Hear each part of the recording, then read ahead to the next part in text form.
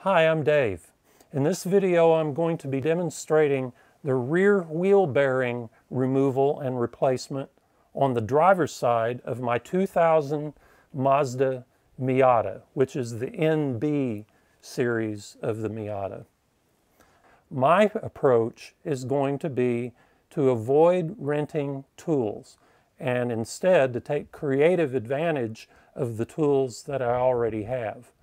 And if you decide that you want to do the same thing that I'm doing in the same way, I'm going to explain as best as I can along the way so that you'll understand. So, I hammered a good two hours on this hub trying to drive it out of the bearing using a sledgehammer and all I got was about 3 eighths of an inch of movement out of the two inches of movement that I needed. So it was taking its toll on my hands and arms, my wrists especially. Uh, that sledgehammer is hard on you. So I abandoned that and I decided to take it to a professional mechanic who was equipped with a hydraulic press. And he was able to do the job for me at a cost of $60. So I was happy. And he initially tried to do it hammering just like I was doing it, uh, but he quickly realized that it was a losing proposition because that bearing was stuck. The bearing and the hub were stuck together and they weren't coming apart. So he took it to the hydraulic press and got the job done. Unfortunately, in order to take it to him to where he could work on it in a vise and in a, a hydraulic press, I had to take the dust shield off. And you can see I had to damage it.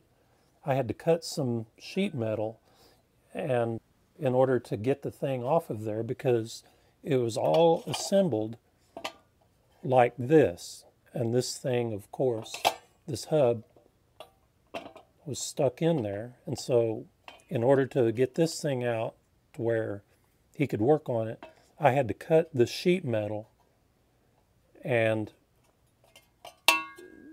take it out so I could take this assembly to him.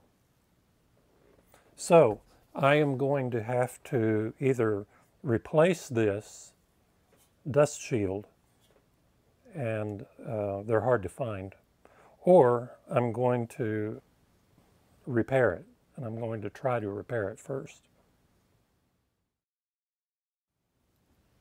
All right, as you can see, I have repaired the dust shield and I've done that by cutting and fabricating a piece of galvanized sheet steel and attaching it with pop rivets. Um, it's important to point out that if you have to do this, that you shouldn't have anything long like a screw sticking up in this direction because this is exactly where the heads of the wheel lugs are going to be spinning around. And so you don't want them to hit the screws if you use screws. So I've used pop rivets, which are very low profile. Another thing to point out is that I have cleaned these parts because everywhere that the new bearing touches the hub or the knuckle, you want it to be really clean. And I've also done that to the, old, the remains of the old bearing. And I'll explain that in a minute.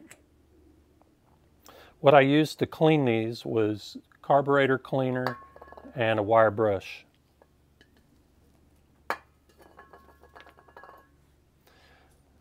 I'll also point out that removing the bearing on a Miata destroys the bearing and leaves part of it stuck on the hub. The mechanic removed that from the hub for me.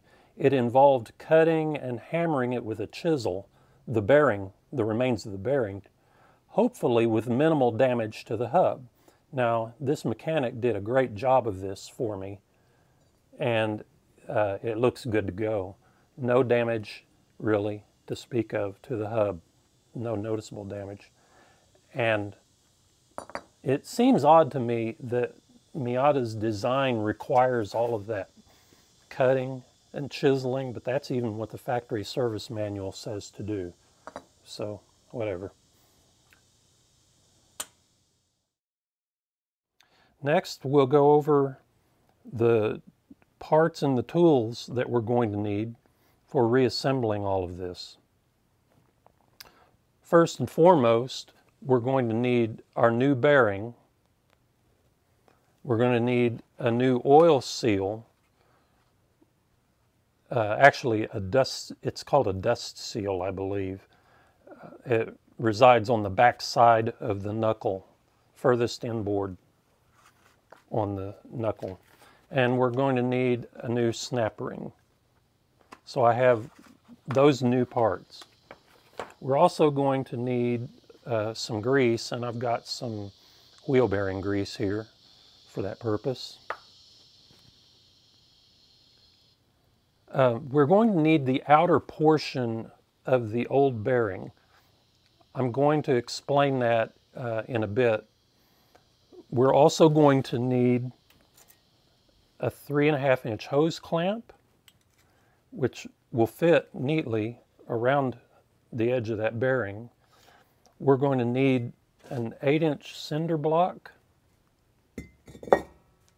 a spring compressor, and this is a spring compressor made for MacPherson struts. I think it's just the right length for what we want to do. And we'll need wrenches. I'm going to use my air wrench and impact sockets to put this all together. Then we will also need some uh, large washers and spacers, maybe some blocks of wood.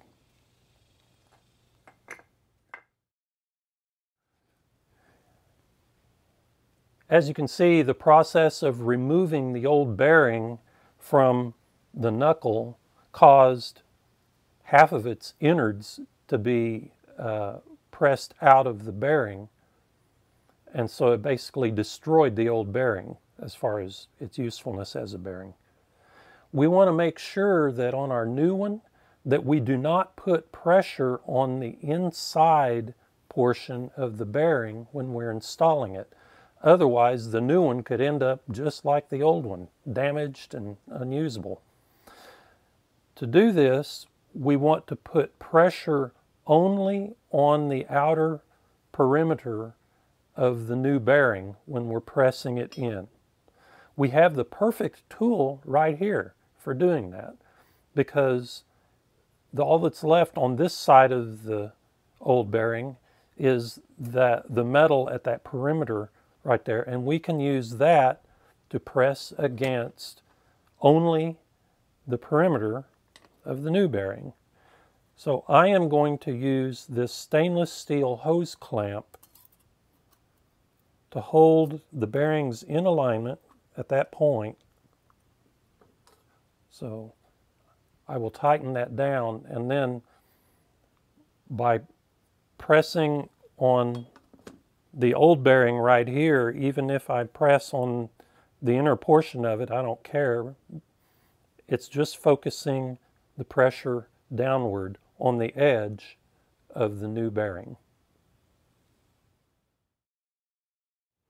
Okay, now we're going to press the bearing into the knuckle.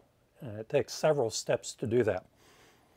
You'll see off camera I drilled a couple of holes in this piece of wood, this block of wood. This is a 5 8 inch hole, this is a quarter inch hole, and I have this lag screw that's going to go in the small hole. This is going to be a guide for the large bolt that we're running down the center of the hole for the bearing. We're going to put the screw into the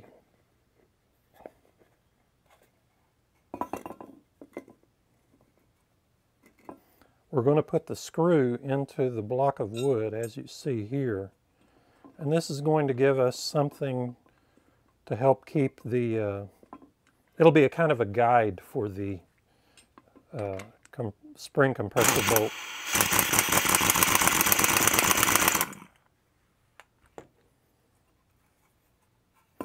Think that went a little too far. We'll back it off a little bit. There we go. So you can see here that 5 8 inch hole is roughly centered in the bearing hole. I'm going to put that on its side and install the spring compressor through the 5 8 inch hole and up through the center of the knuckle.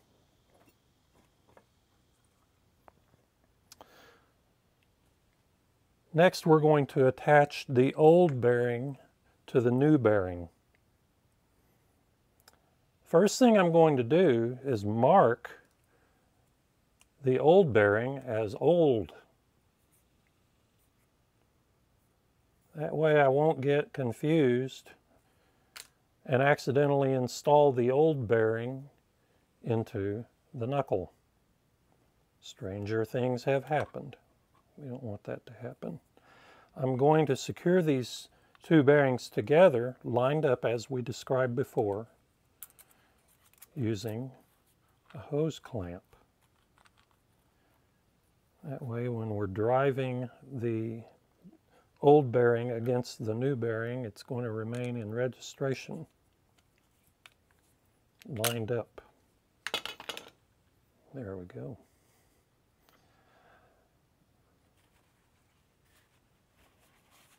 I'm going to wipe down the surfaces that are going to be sliding against one another just to make sure there's no debris.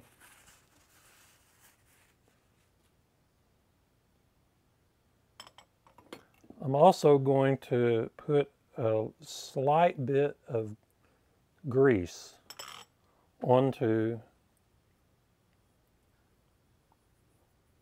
the surface inside the knuckle.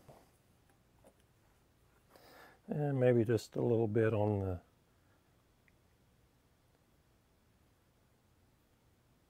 I mean we're going to put it on both the bearing and the knuckle surfaces that are sliding into one another not a lot but the uh, factory service manual says to use grease for this so I just figured might as well use bearing grease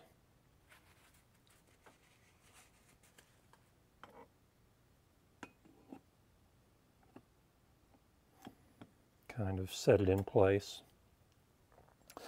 I have a plate. This is a kind of like a washer, but it's a very thick, stout metal plate that's going to span all the way across the end of the bearing, as you see here, so that when I put the spring compressor on,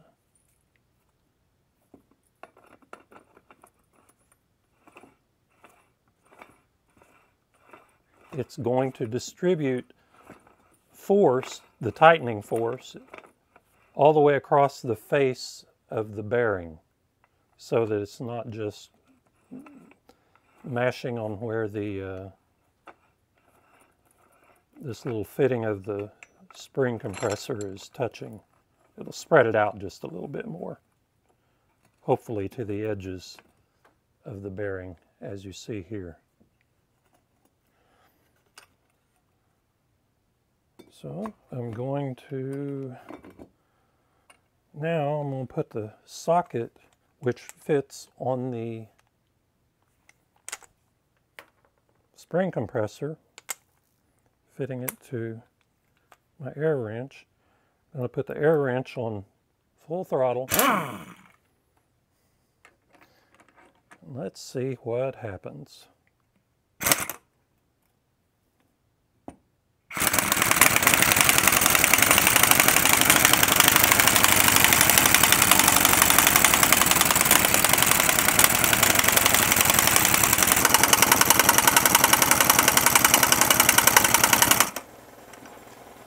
At this point, I'm going to remove the hose clamp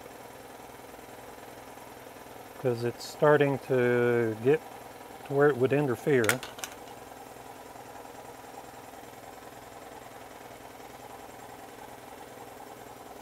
And I'll continue.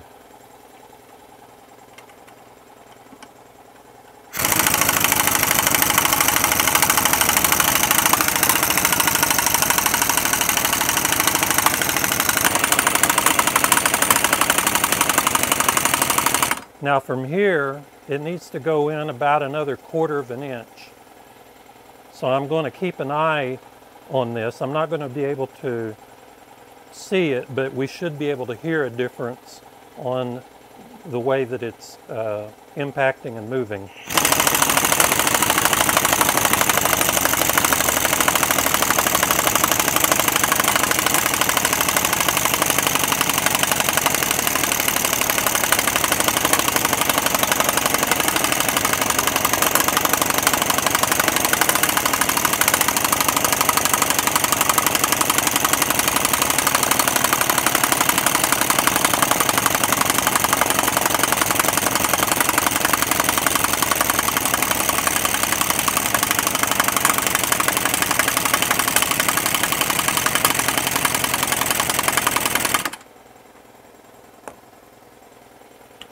You can hear my air compressor is having to catch up.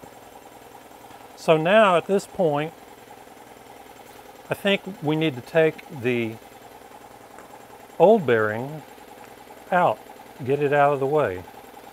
So I'm going to have to loosen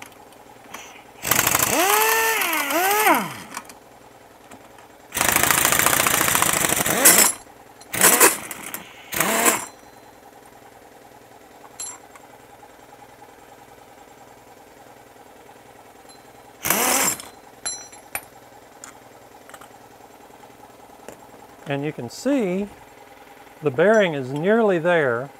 There's a ridge just a little further in where the new clip has to install. So we still have a little bit further to go. So I'm going to I'm going to reassemble it here and we'll continue driving.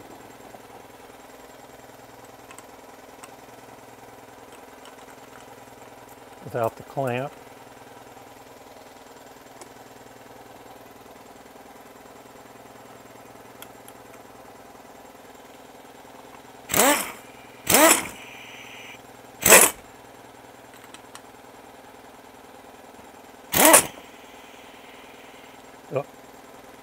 I did not put our flat plate on. There we go.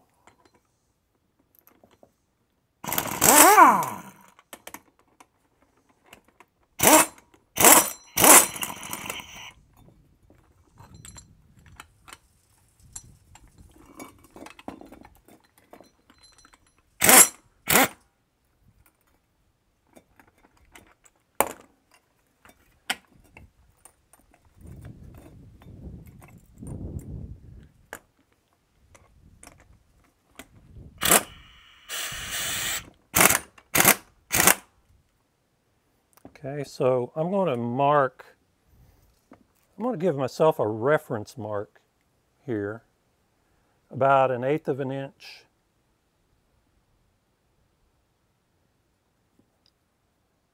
from the knuckle. And then I'm going to watch that mark move closer into the knuckle until it about disappears. And I think that's about how far we need to go.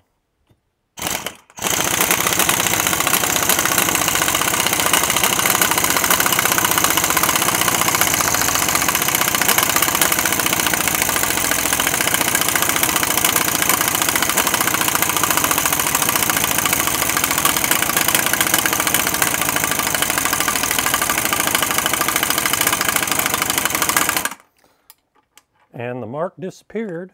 So now I'm going to take this apart and look at the result again.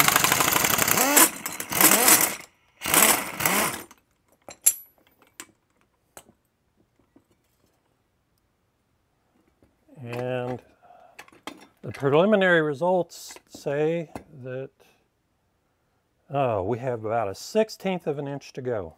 So let's do it again.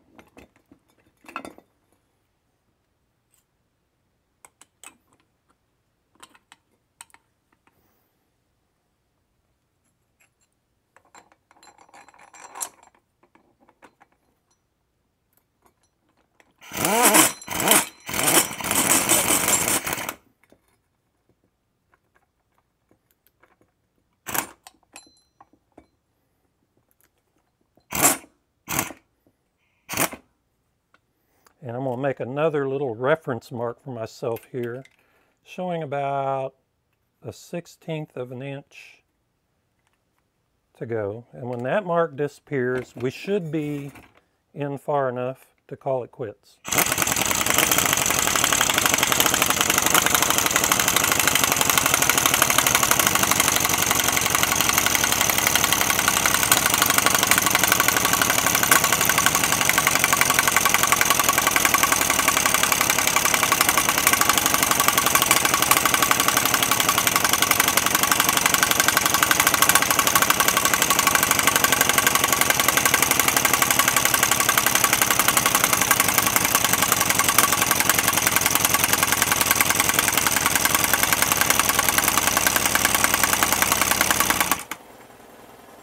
I do believe that should be enough.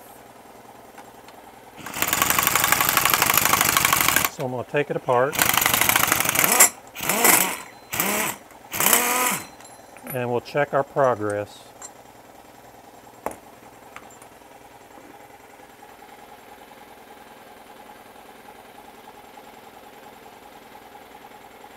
Well, it looks close enough that we can probably try to install the clip, the retaining clip.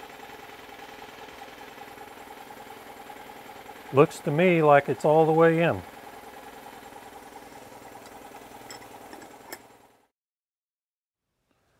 Okay, next we're going to install the snap ring or clip, whatever you want to call it. I have here both the old and the new one, the new one that I bought. They're slightly different styles, but that's how it works. First, I'm going to check that the groove fits with a ring. And I'm going to take the end of the old snap ring and stick it into the groove and run it all the way around the perimeter just to make sure that the groove is clear all the way around. And it is. So that was successful. Now I'm going to take this new one out.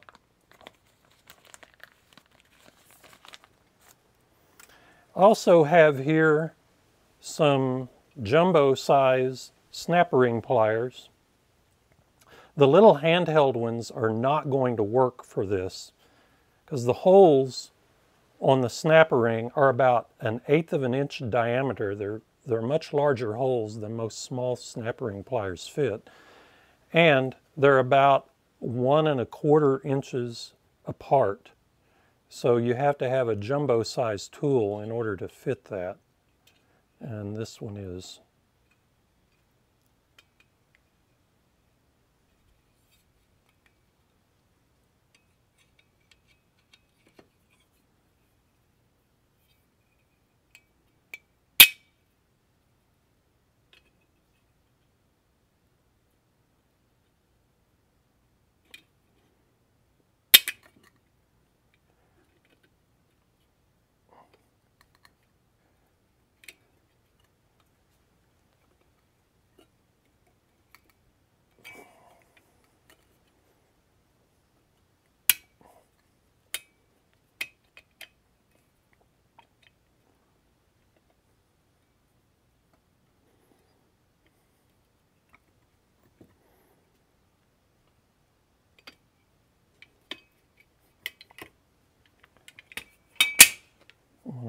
sure that it's seated all the way around.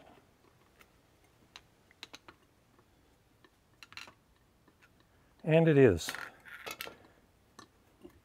Snap ring is installed.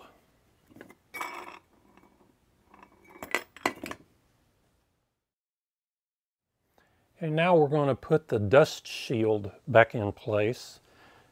It's not really rocket science. Just line it up roughly the way that it originally was. I'm using these cutouts and these bosses for the two uh, disc brake caliper holes, mounting holes, as a guide, figuring that it should be pretty well centered. And I'm going to use a mallet to drive this on gently. Don't want to bend anything.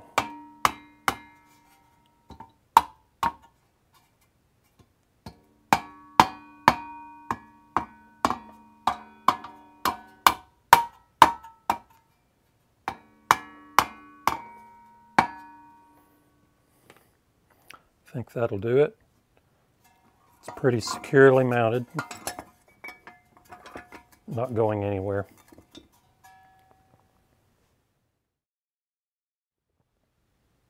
Our next step is going to be assembling the hub into the bearing. And uh, the way these are going to go together, the orientation according to the way you're looking at it is like this. They're going to be pressed together. We're going to be using our spring compressor, just like we did before, to squeeze all the parts together. The challenge is going to be that we want to keep the pressure of the tool focused on only the inner part of the bearing, keeping it away from the outer part of the bearing. On the hub end, we're going to have the pressure focused right here. And we're going to use that same square flat plate that we used before, sandwiching that in between the spring compressor fitting and the hub. So just like that, and then it will go together like that. So on the knuckle side of the equation, we have a different apparatus that I've concocted in order to focus the pressure where we want it. I've got these large flat washers, just off the shelf steel washers, designated UAJ. I think what that means is that they are nominal three quarter inch flat washers and they're almost two inches in diameter and I have only two of them so I had to come up with something else and I found this old bearing race from another bearing job that I did so that'll stack it up to get it uh, spaced up high enough to be clear of this uh, cast iron knuckle. To keep it away from the outer part of the bearing, when all of this is pressing, I came up with this. It's a 3 8 inch wide piece of 2 inch PVC conduit. In other words, I cut a little sliver of PVC 2 inch conduit and it's just the right size and thickness to do what we want. It keeps the it keeps the tool away from the outer part of the bearing. So these pieces will fit neatly inside it and the spring compressor will go just like that and bear on the inner part of the bearing. So let's put that all together and get started. Okay, as you can see, I've got this all together and ready to go. One thing I did not tell you is that I uh, cleaned uh, I wiped off the uh, the surface of the hub, which is going to contact the bearing, and spread a thin coat of grease on it, just like we did earlier when we installed the bearing into the knuckle. And I've checked here to make sure everything is centered properly. So it looks good. I'm going to stand this up in my cinder block so that we can go straight vertical on tightening it. And I'm going to be able to look underneath from time to time to check my progress because the hub surface that's going into the bearing is visible right under there. So here we go.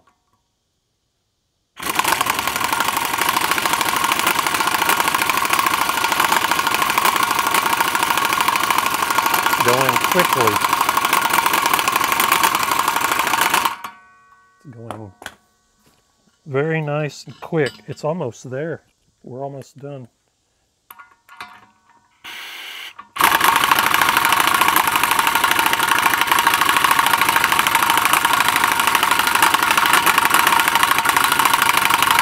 I think that's it. Seems like it. Maybe we'll give it a, a little bit more and see if it progresses.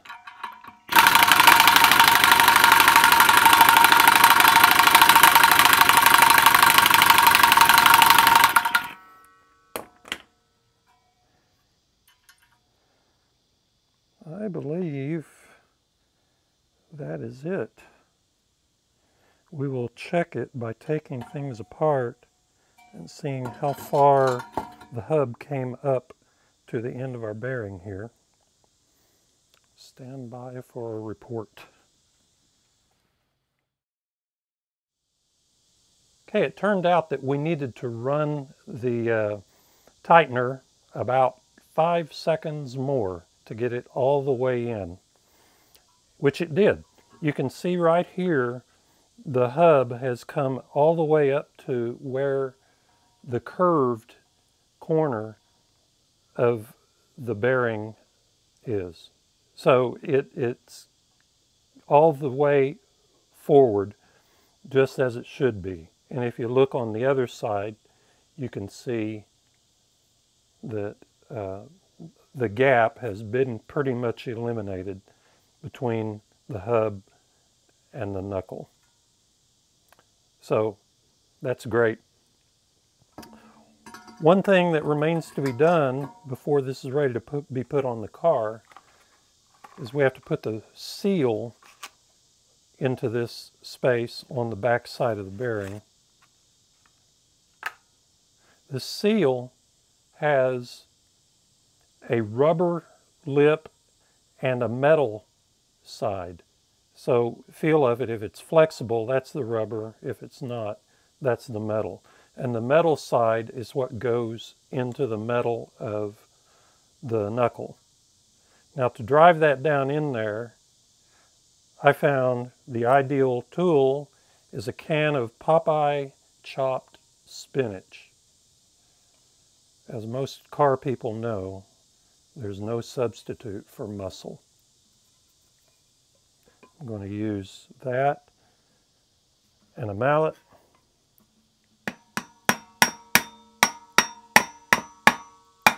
Drive it down to where it's all the way seated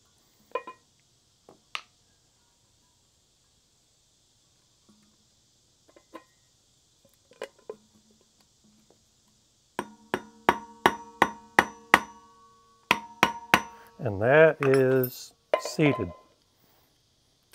Now this whole thing is ready to be installed onto the car.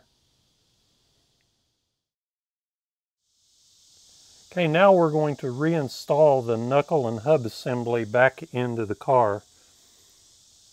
I want to point out a little minor problem and an easy solution to it. These two rubber bushings that I'm pointing at here can be uh, kind of uh, difficult to deal with because they don't leave very much space in between here for the bottom part of the knuckle to fit back in sometimes. If you have a problem with that, use a block of wood and a pry bar to give this space a little bit more space. Just pry on it a bit, which mashes the rubber back into the, the tube that it's situated in. Just mash it for a few seconds and then as quickly as you can put the knuckle back in and uh, it should give you enough room. But you also have to put the axle splines back onto the splines of the hub, as I'm doing here. Lining it all up and putting the bolt back in all the way through.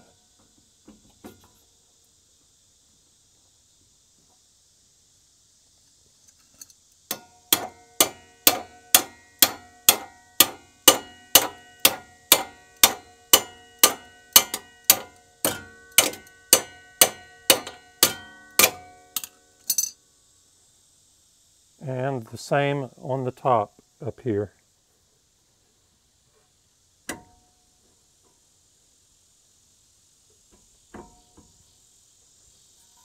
Might have to work at it to get the holes to all line up before you can put the bolt in.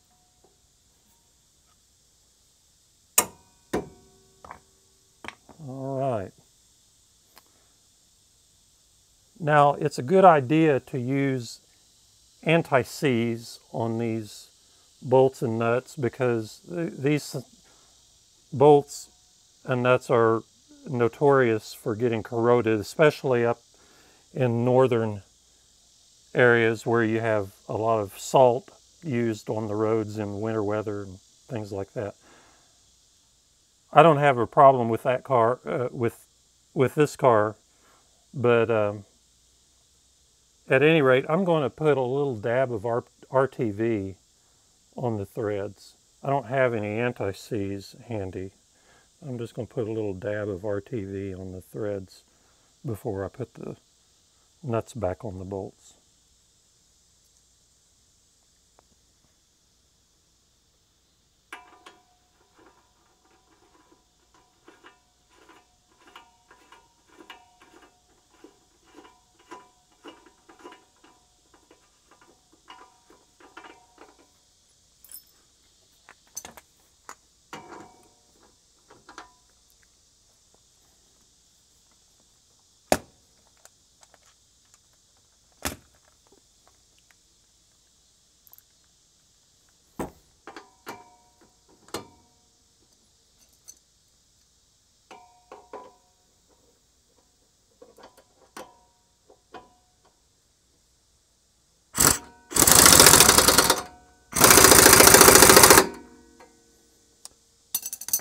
Seems about right. I'll check the torque on those later off camera.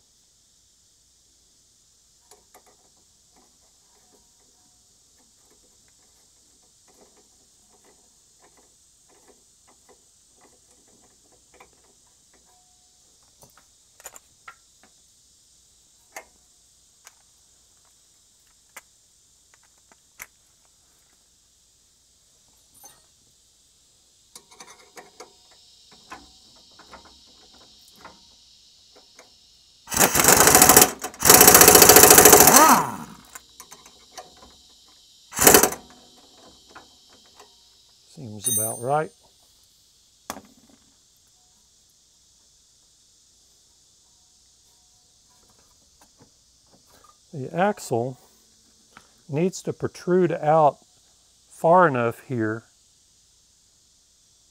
that the threads of the axle nut can fit on it. So we may have to do a little work to uh, get the axle worked out as far as it needs to go. Okay, now I'm now I'm giving you a little bit better camera angle so you can see what we're trying to accomplish here. As it is, the axle is not protruding out quite far enough for the threads to catch it, or if it is, it's just barely. So I'm going to reach in with my left hand here, grab onto the axle and pull on it, while with my right hand I have a mallet and I'm going to be tapping on the axle. So maybe the combination of pulling on it and hammering on it will work it out to where it protrudes out further and there will be enough threads visible.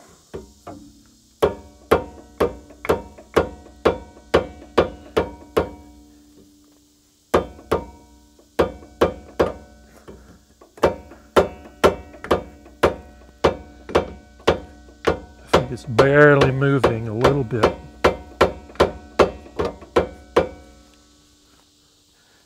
Seems to have come out about a sixteenth of an inch.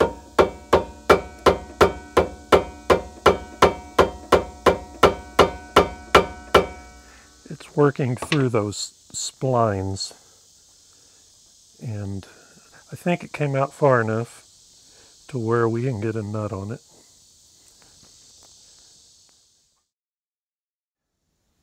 Okay, now it's time to reinstall the brake disc rotor and the brake disc caliper. So I'm going to slip the brake disc back onto the hub.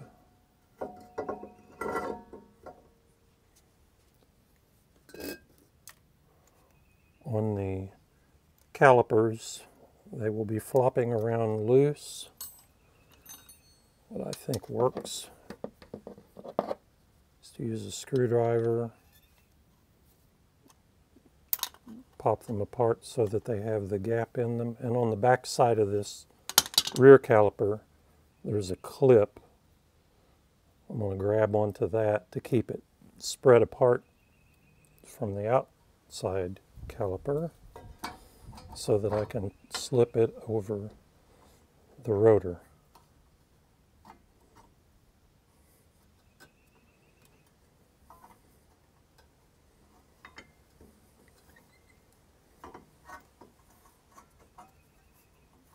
and once you get it over the edge of the rotor makes it it's not that difficult to slip all the way on now I need to line up the two bolt holes on the back side because we've got this boss on the knuckle that lines up with the bolt holes on the caliper I'm going to get the screw located on the hole.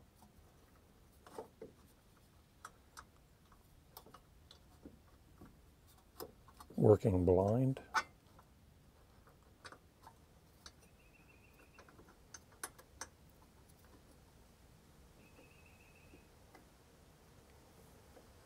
Think it's started. Let's see if I can get my ratchet to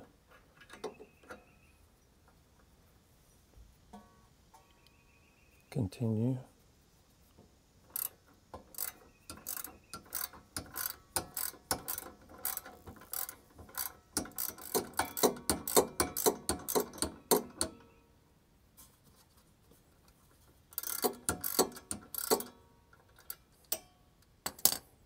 And the same with the other hole.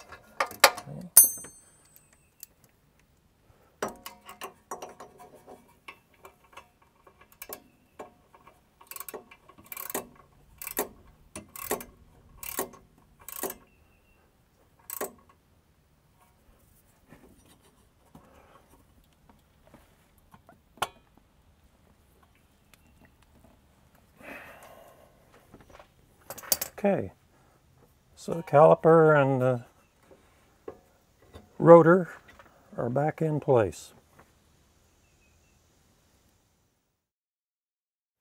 Okay, the last part of our procedure is to install and tighten the axle nut. Now, you can see I've reinstalled the wheel on the car, lowered the car, gotten rid of the jack stands and the jack, and I also put the nut on the axle and I tightened it. I tightened it the best I could using an air wrench and then I followed that up by using my torque wrench. This thing is spec to go to 180 foot-pounds of torque or more. That's just kind of my target. And this torque wrench only goes to 150 only. So I did the best I could, and right now this thing is torqued to 150 pounds. Now I'm going to augment that the best I can, just kind of guessing as to how much force to put in uh, beyond that 150, using the wrench that I broke it loose with, this three quarter inch, um, one and one quarter inch 12 point socket. And I'm using this 40 inch long cheater bar that we used earlier. This is perilously close to my car's paint, so I'm going to keep my hands between the pipe and the car. And let's see if we can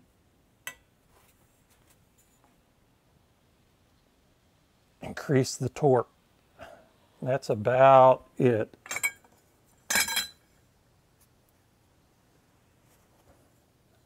I got this uh, notch, the previous notch on the uh, nut, as you recall, it goes into the groove that's cut in the end of the axle.